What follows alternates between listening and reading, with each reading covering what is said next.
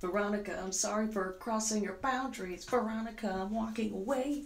Veronica, we can talk about this later.